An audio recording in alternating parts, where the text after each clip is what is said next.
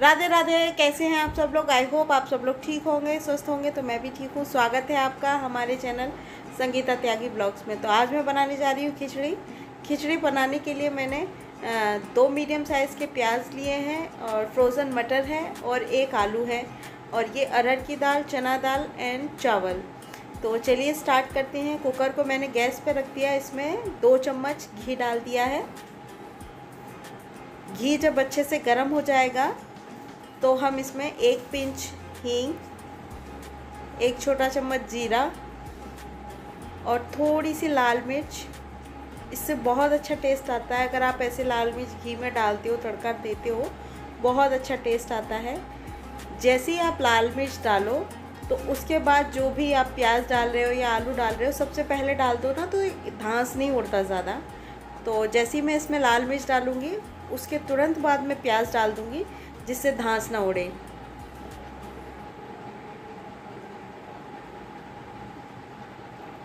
ये देखिए, मैं इसको अच्छे से भून लूँगी, फ्राई कर लूँगी। उसके बाद हम इसमें ऐड करेंगे अपने आलू कटे हुए, जो हमने काट के रखे थे।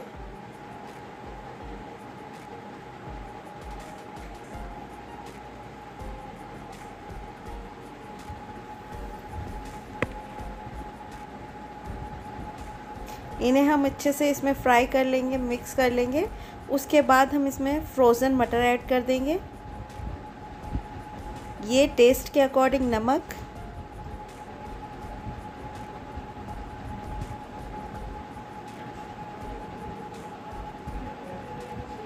अब ये हमने मटर ऐड कर दिए इसमें फ्रोज़न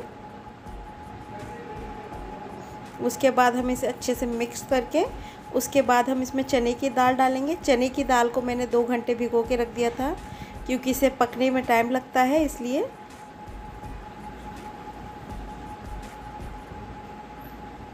ये इसे दाल, चने की दाल को मिक्स करने के बाद हम इसमें तूर दाल, अरहर दाल, जो भी आप बोलते हो, वो हम इसमें ऐड कर देंगे। इसको अच्छे से धो के मैंने रख लिया है।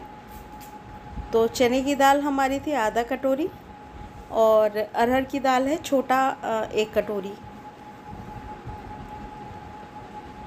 उसके बाद जो हमने चावल भिगो के रखे थे पंद्रह मिनट के लिए, आधे से थोड़ा ज़्यादा है ये चावल, वो ऐड कर देंगे। आप चाहें तो चावल कम या ज़्यादा कर सकते हैं और हाँ ये रेसिपी बहुत अच्छी लगती है खिचड़ी जो बनती है, बहुत मेरी तो पर्सनली फेवरेट है।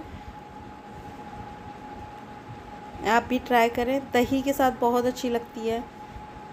इसके बाद मैंने थोड़ी सी मिर्ची ऐड की है, हल्दी थोड़ी सी और एक पिंच हींग फिर से ऐड की है। तड़के में भी मैंने ऐड की थी, उसके बाद फिर से मैं ऐड कर रही हूँ, बहुत अच्छा टेस्ट आता है। अब हम इसमें पानी ऐड कर देंगे। पानी मैंने इसमें पाँच कटोरी ऐड किया है।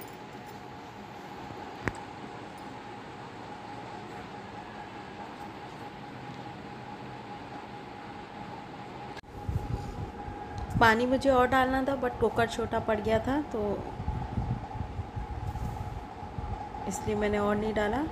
उसके बाद मैं इसमें एक चम्मच चाट मसाला डाल दूँगी और हम जो फिर उसके बाद इसे मिक्स करने के बाद मैं इसके जो कुकर का ढक्कन है वो लगा दूँगी। और जो गैस की फ्लेम है उसको मीडियम कर दूँगी और हमें मीडियम गैस पर ही इसको पकाना है।